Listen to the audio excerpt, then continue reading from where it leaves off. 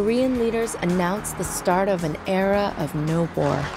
Concluding their formal talks in Pyongyang on Wednesday, September 19th, dear respected comrade Kim Jong un and His Excellency Moon Jae-in signed a fruitful agreement to promote harmony. In a press conference, President Moon said, The era of no war has started. According to the agreement, a main missile facility in the Democratic People's Republic of Korea will be permanently closed down in the presence of foreign experts, and a key nuclear complex there could possibly be dismantled. President Moon further expressed hope that dialogue would resume between Pyongyang and the United States.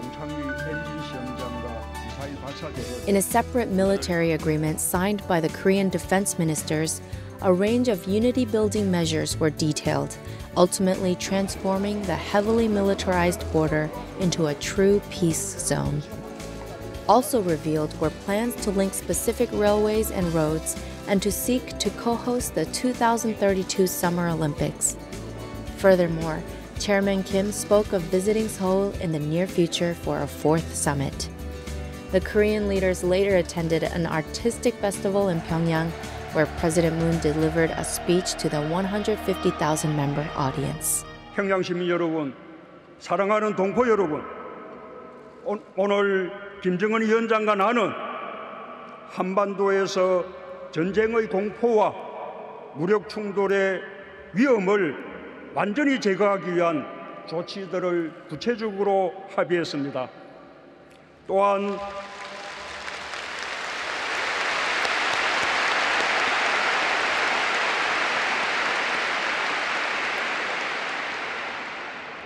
또한 백두에서 한라까지 아름다운 우리 강산을 영구히 핵무기와 핵 위협이 없는 평화의 터전으로 만들어 후손들에게 물려주자고 확약했습니다. 평양 시민 여러분, 동포 여러분, 우리 민족은 우수합니다. 우리 민족은 강인합니다. 우리 민족은 평화를 사랑합니다. 그리고 우리 민족은 함께 살아야 합니다. 우리 함께 새로운 미래로 나아갑시다.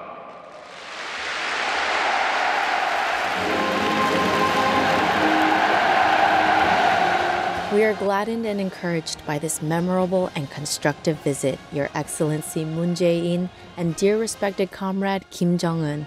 Our respectful gratitude, Korean leaders and all summit participants for this diplomatic progress. We pray that your noble vows for a peaceful, united Korea will soon materialize in the continued grace of the providence.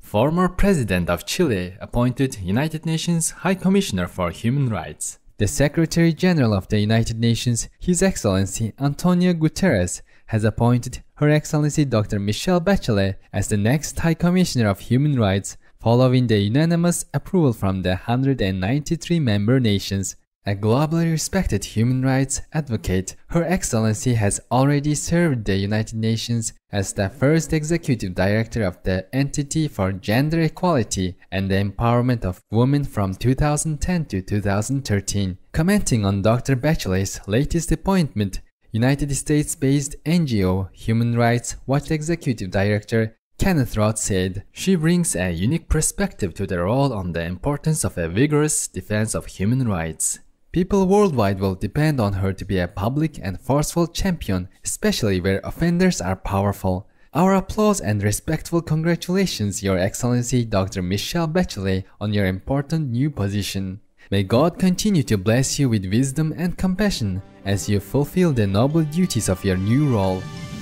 Chinese Tobacco Control Department calls for regulating e-cigarettes. Chinese tobacco regulators are calling for e cigarette smoking to be banned in public spaces, the same as normal cigarettes. The e cigarettes, which usually contain nicotine, currently do not fall under the same category as cigarettes, but experts say they are still harmful. Awareness was raised after a life threatening incident involving a pilot of an aeroplane who was using an e cigarette, which caused a loss of cabin pressure in the plane.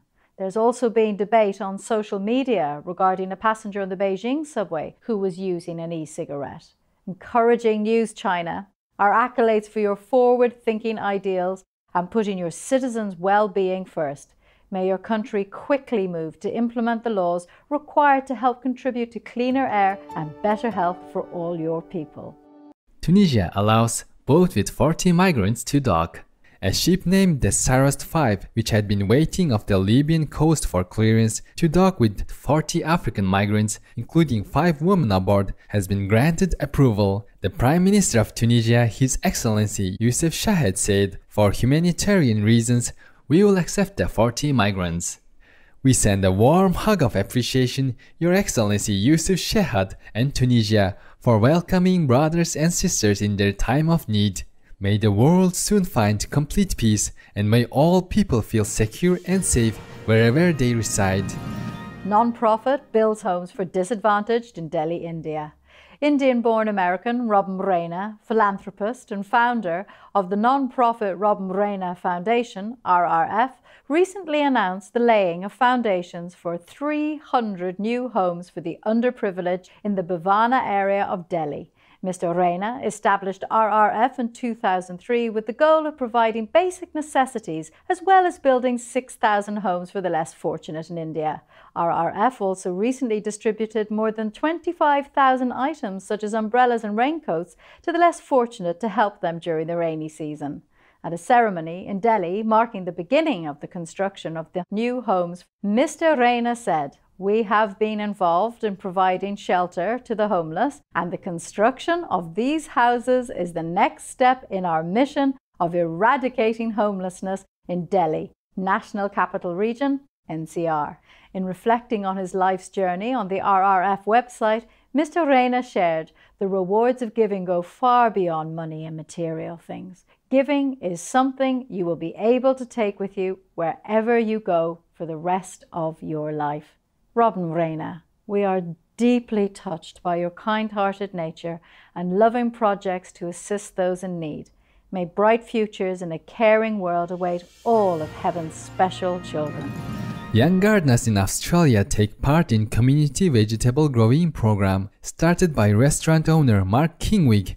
The Blackbird Power Plant Community Gardening Project on the Gold Coast of Queensland, Australia is designed for youngsters. It involves giving complimentary seeds, soil, and pots, all donated by local businesses to children to take home. The budding gardeners grow plants such as carrots, tomatoes, and zucchini and then have the option of donating their harvest to a homeless charity or selling it back to Mr. Kingwig's restaurant. Speaking of the exciting initiative, Mr. Kingwig said they have grown something which is an amazing feeling when that first tomato pops out or that broccoli comes out of the ground. A big green salute, Mark Kingwig, donating businesses and young gardeners. We wish you much fun and success as you participate in this fantastic earth-loving activity. May more children have the opportunity to grow their own food at a young age. Festival Against Animal Festivals hosted in Seoul, Korea the non governmental organisation the Biodiversity Foundation, and the non profit Beautiful Coffee, both of Seoul, Korea, along with animal welfare group Sea Shepherd, Korea, organised the first festival to draw attention to cruel animal festivals that take place in different parts of the world. Around 500 people attended the event, which included informative classes, music, games, and skits. 이제는 그만할 때가 왔음을 그리고 인간과 동물의 생존권과 행복을 누릴 권리 모두를 존중하는 그런 진정한 동물 축제를 실천할 때가 왔습니다. 사람들이 축제를 하는데 한쪽에서 고통이 일어난다는 걸 모르고 있어서 안 되겠다. 그래서 저희가 맞불 축제, 동물 축제, 반대 축제, 짧게 말해서 동축 반축을 기획하게 됐습니다. 여러 가지 프로그램들 마련해서 그렇게 동물을 이용하고 학대하는 축제가 아니라 동물과 정말로 같이 행복할 수 있는 축제가 가능함을 대한 축제로서 보여주고 싶었습니다. 네. 어, 대체적으로 굉장히 평화롭고 동물들도 자유롭게 돌아다니고 그래서 이렇게 착취하지 않고 혐오하지 않고 이렇게 평화롭게 축제를 즐길 수 있는데 굳이 동물을 죽여서 축제를 하는 사람들이 굉장히 어, 아쉽게 느껴지고 지금 분위기가 굉장히 좋아서 굉장히 재밌게 즐기고 있습니다. 제가 그동안은 그냥 동물 축제 그러면은 언제 한번 꼭 가봐야 되겠다. 뭐 고래 축제 같으면은 고래 축제 가서 고래고기나 좀 마음껏 먹어보자 이런 생각을 하고 있었는데 어, 이 축제 취지를 알고 나서부터 이제 그 자신이 좀 부끄러웠습니다. 아, 나는 동물을 희생을 담보로 한 그런 축제를 그냥 뭐 용인하고 있었구나. 다음부터는 좀 동물의 인권, 동물의 그 권리에도 좀 관심을 가져야겠다 생각했습니다. Our hats off all involved in the first festival against animal festivals. Thank you for providing a shining and loving example for the world to follow. Germany, top nation for new vegan products. London based market research company Mintel reported that Germany was the leading country globally for debuting new vegan products, responsible for 15% of all plant based food and beverages launched worldwide between July 2017 and June 2018. The United Kingdom followed with 14%, and the United States came in third with 12%. Furthermore, there's been a 240% increase in the number of new plant based items released in Germany between July 2013 and June 2018. Katya Witham, senior food and drinks analyst at Mintel, stated the rapid growth of vegan products in Germany also reflects the rise of ethical consumerism, especially among younger consumers. Bravo, Germany, for your discerning choices. May the benevolent citizens of your nation continue to enjoy a wide array of delectable plant based offerings while embracing the diet of kindness.